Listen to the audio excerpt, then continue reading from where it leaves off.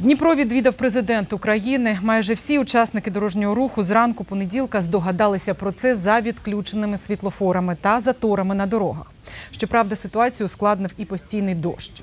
Петро Порошенко побував на відкритті нового корпусу центру матері та дитини імені Рудніва і подивився на ремонт доріг у місті. Майже скрізь ходив без парасольки, тож був мокрий, але при цьому в доброму гуморі. Ще одна мета візиту особисто вручити державні нагороди до Дня гідності і свободи. Свято відзначають 21 листопада на честь двох революцій помаранчевої та гідності.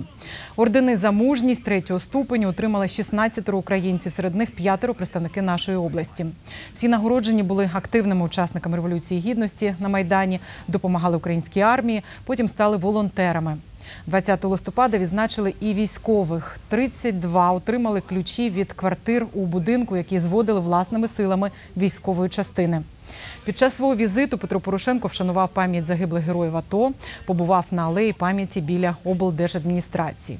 Через дощ, який триває весь день, зустріч із учасниками майдану відбулася у приміщенні установи.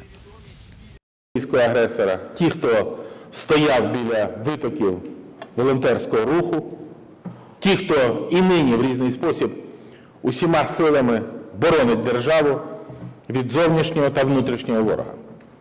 Хочу наголосити, що Дніпропетровська область зробила колосальний внесок в захист України. Вважаю, що є багато більш гідних людей, ніж я для її отримання. Єдине, що хочу сказати, е, що хочу побажати нам бути гідними тих людей, які ну, загинули, тих дітей України, які загинули за цю страну, і тих, і тих людей, які зараз е, воюють.